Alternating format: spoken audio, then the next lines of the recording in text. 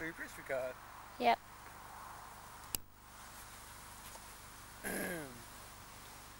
Film me as well, please. Nah, we want pretty sights today. Alright. Hi! There's the idiot. There's the scary black hungry chicken. And then we've got the other chicken over there. There we go. Finding some scraps. What the other campers left.